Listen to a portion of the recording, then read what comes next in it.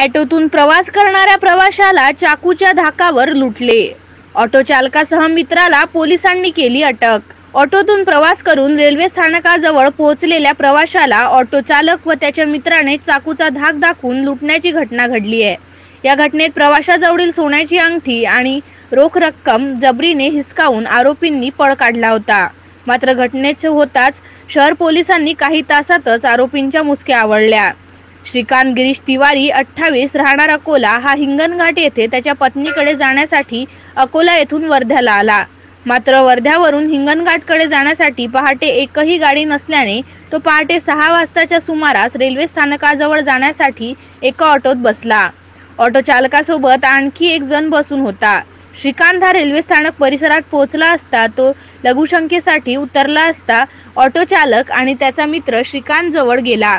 आणि चाकूचा धाक दाखवून त्याच्या बोटातील सोन्याची अंगठी आणि खिशातील रोख रक्कम असा एकूण तेवीस हजार दोनशे रुपयांचा ऐवज जबरीने हिसकावून ऑटो घेऊन पळ काढला. एम सी एन न्यूजकरिता सचिन महाजन वर्धा.